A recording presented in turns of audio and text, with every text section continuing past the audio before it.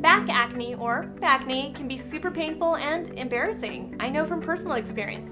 That's why I put together some tips and some products to help you get a beautiful back.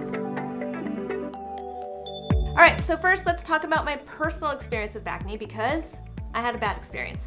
Um, I always had clear skin and then one day I decided birth control was making me a little bit cuckoo so I decided to get off of it. And then my back flared up and I wasn't expecting it and I never really knew how to deal with bacne flare-ups or acne flare-ups in general.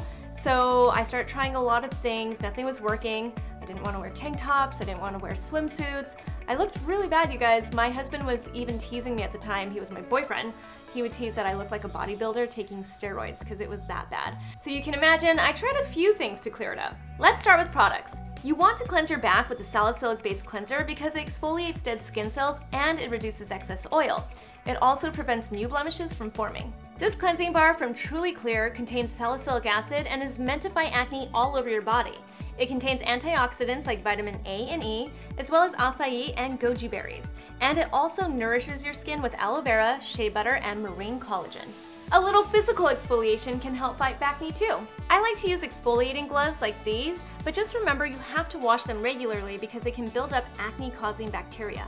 After cleansing, use treatment products to help fight breakouts. This toner from Dermalogica contains salicylic acid and sesame seed extract to help reduce the surface oils that cause acne. It also has botanicals that help minimize redness and irritation.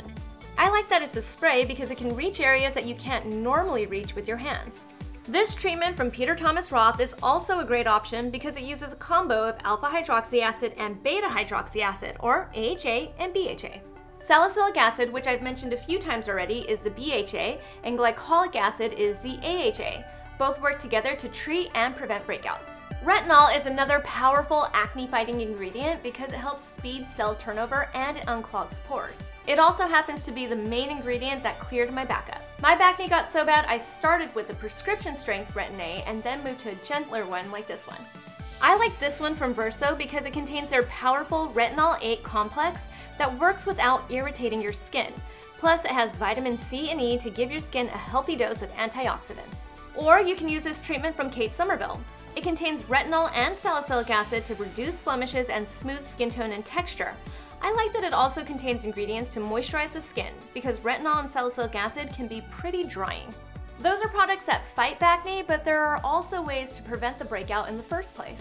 My first tip is to shower as soon as possible after your workout. The combination of sweat and friction from your gym clothes like your sports bra is the perfect breeding ground for acne-causing bacteria. If you can't shower, then give yourself a wipe down post-workout. My husband and I are obsessed with these shower sheets from Yuni. They're big enough to wipe down your entire body and they leave behind a nice scent. My second tip is to switch your laundry detergent. This is actually a big cause of acne because the fragrance found in a lot of detergents is very irritating to the skin.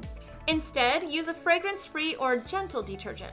My next tip is to switch out your shampoo and conditioner. Sometimes the ingredients in your hair products can cause acne, especially if you have long hair. Avoid ingredients like sulfates and sulfites, silicone, petroleum, and panthenol. Try a brand that doesn't contain these ingredients and see if it makes a difference. Last, you could always get a back facial. When I was dealing with acne, I was desperate to find a treatment for it and I couldn't find one anywhere. But now there's a ton of places that offer back facials. We even got it done on an episode of The Sass. It's just like a regular facial with extractions, except it's on your back. And of course, once you have cleared up your bacne, I found that using a simple antibacterial soap like this one in the areas where you're prone to breakouts will help keep your skin clear. Because remember, acne is caused by a type of bacteria, so stopping it is key.